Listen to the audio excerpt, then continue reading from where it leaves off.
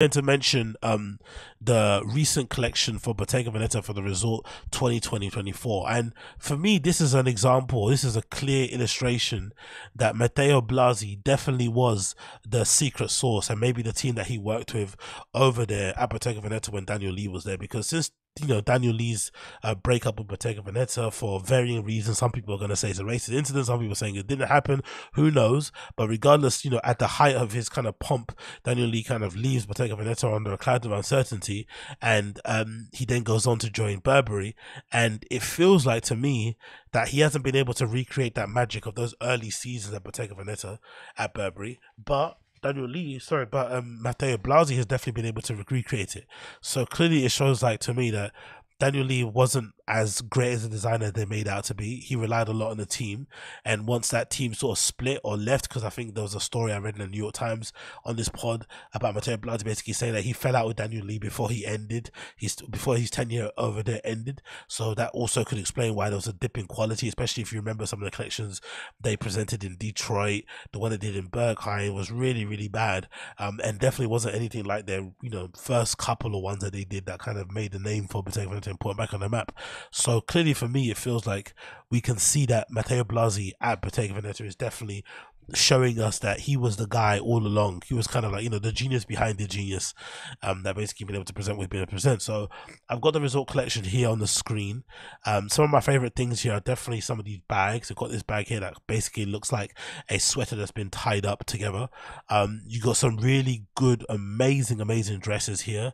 Some really nice suiting and tailoring. The bag and accessories are really some of the best bits and bobs I've seen from them a lot. Some of the casting and, you know, styling has been great. I think think this look here, number nine, was a look that was featured by ASAP Rocky. I think he recently wore that um, for like a press thing. Because um, I think there's a there's a tracksuit look here also. So they're doing something different, interesting. They're doing this thing where like I think they featured um, Rocky there's a picture of ASAP Rocky um, driving this really amazing vintage, I think Mercedes, and he's wearing one of the looks in this kind of in this collection, and it was done many many weeks before, so clearly it's part of the rollout. And then most recently, he also did a shoot or he did some like paparazzi thing where he was jogging around, you know, I don't know, somewhere in Hollywood Boulevard, being chased by paparazzi, and he was wearing essentially like a head to toe Bottega Veneta outfit. And at the time, I thought it was strange, like why is he jogging in that sort of area. And then also he had these grills on. It's like who drugs with their grills on? It's a bit strange. So it makes sense that it was all part of a promo thing. You know, for ASAP Rocky, it's a bit odd because I feel like he's way more talented of an artist to be doing that. He should be, you know, creating great music and shit and putting on great shows and videos and whatnot. But clearly that isn't probably his passion anymore. But it's a bit sad to see him running around doing those kind of fake stunts and shit. But hey, it is what it is. Going back to the show, some of the denim looks from, you know, Matthieu Blazy, Bottega Veneta, I'm always been a big fan of. I I really do like this. Some of the big long trench coats here look number 13. The books boots, sorry, on look number 14 look amazing. As does a cheetah print dress on look number 15. Uh, my favorite look, definitely in terms of casual wear, would definitely be my um, look number 18 here with the what would you call that shadow plano, shadow shadow flannel, sorry, that looks like it's been made in a like sort of like a mohair type material, which is a really interesting design. So I'm not too sure if this has been printed or if that's been weaved in, you know, like because it's basically a mohair jumper that's been made to look like a flannel shirt. And then you've also got a pair of jeans here, which I'm not too sure if the jeans are because Matthieu does a really interesting thing with the jeans. He kind of, you know, he'll make it look like a jean, but actually looks like, but it actually feels like leather, or vice versa. So I'm interested to see if that's actually the case. But that actually looks phenomenal. I love everything about it. As obviously some of the suiting is obviously very, very well done. Um, the color. Oh, this is another look Rocky also wore.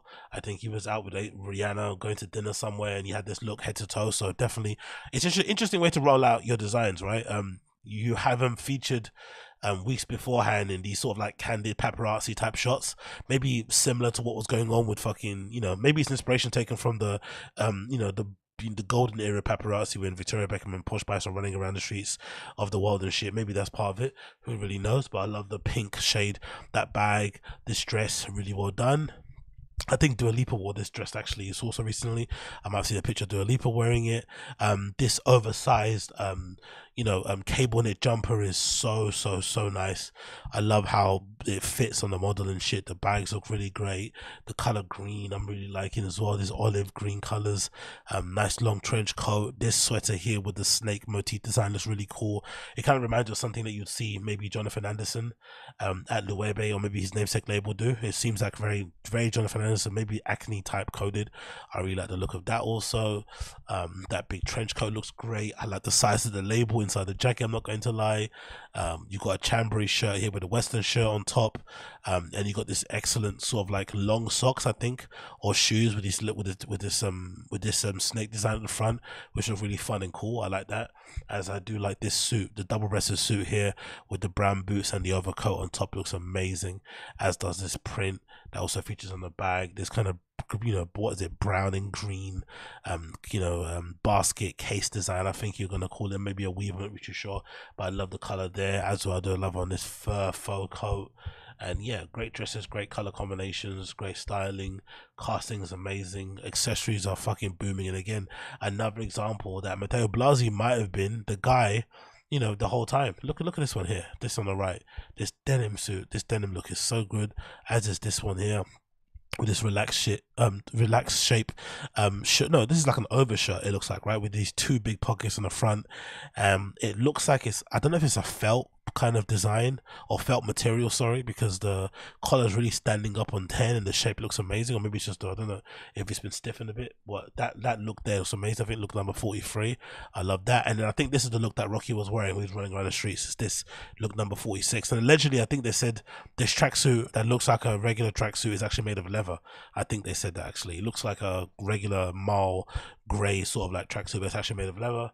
Um this overcoat looks really cool shirt, skirt designs, great bag there. Um, this is the look actually that Rocky wore. I think when you when you had that Mercedes, I think this is the one, um, with this orange coat and this amazing suit on the inside. And I love this coat. This kind of reminds me again. There's a, there's a Phoebe Philo coat that recently released that kind of looks similar to this kind of pile pile plush furry number there on look number fifty four and we got a few others here. Again just great stuff man. Like Matthieu Blazy is definitely that guy. We can't say anything about that. And again that great cable knit jumper in its different sort of color blocking as well looks really great as does this shirt which kind of reminds me of the heady days of that Prada shirt that everyone was wearing right? I love this type of design of a shirt. Actually looks really really cool. So big up Matthieu Blazy all of it looks fantastic. I'm sure it's going to do great when it eventually does drop on the stores. And yeah I'd wear every single piece of this. Like I even love the label. Bottega Veneta with this um, kind of overstitched label the back looks absolutely fantastic and some of the details as you can see as well look absolutely brilliant. So yeah big up Matthieu Blazy. Loved and enjoyed everything about that collection. And for me a good return to form because like I said before mentioned I think the the time that I sort of like discovered Bottega Veneta was probably around fall 2019 that was around the time that they made the lug boot. That full 2019 ready made collection was the lug boot. Was the best ones. And then I think it kind of fell off around here maybe around here 20 result 2021 they decided to get really shit. So i think all of these from like spring 2021 pre-fall 2021 fall 2021 were all if i'm not mistaken they felt like they were designed by daniel lee primarily. And then obviously when matthieu blazy made the comeback um i felt like he's basically restored the brand back to some level of prominence. Since he's kind of stepped back into the fold. So it's been great to see really in that regard. So um, more power to matthieu blazy. Definitely a talented guy, definitely a talented guy, cannot deny. And that